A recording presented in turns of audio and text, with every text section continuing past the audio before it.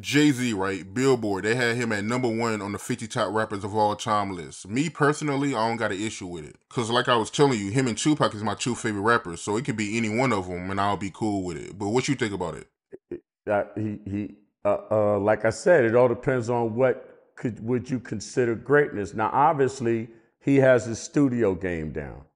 Obviously, he sold the records. But now my point is, could he go up against Busta Rhymes? Could Busta take Jay Z? Yes or no?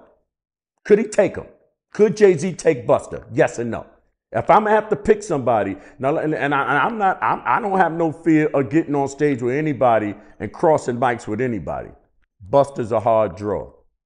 That would be, that would probably be the hardest draw in the game. Nobody, nobody's, no, because he got all the intangibles.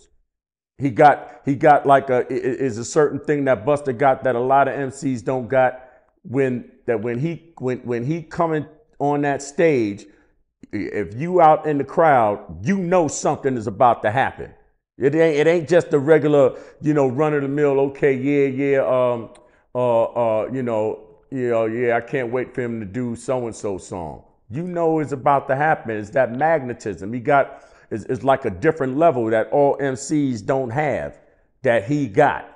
And, and, and, uh, and, and like I said, I, I, I'll ride with Busta. I'm gonna ride because, and, and, and, and I don't know if you got the list in front of you. Where's Busta on that list? Let me look it up right now. Let me see. Let me see. But that's an interesting take, though. So you feel like Busta Rhymes is better than Jay Z? I, I, uh, as as as an overall on an overall 360 of of an MC. This is the pen game, the studio game, the rap game, but the stage presence that got to be in the equation. And absolutely, Busta's stage presence is better to, is is is better than Jay Z's. Absolutely. I mean, there's no denying that. Busta got better stage presence than, like like I said. Did, did, did you see where Busta is on that list? Thirty three. Thirty three. Now, it ain't 33 guys that could take the guy. That's my point.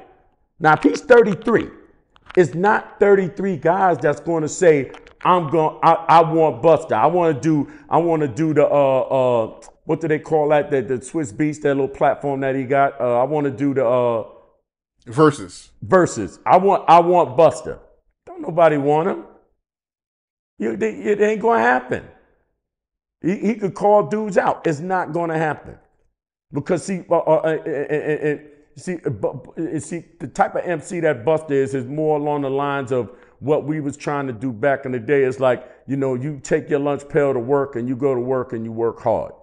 It's not like, uh, uh, at, you know, as, as time went along, it's, it's like the, uh, the, you know, the, the, the industry kind of guy, the, the entrepreneur kind of guy, the guy that could do three or four things. You know, he, you know, he making, you know, all different kind of money.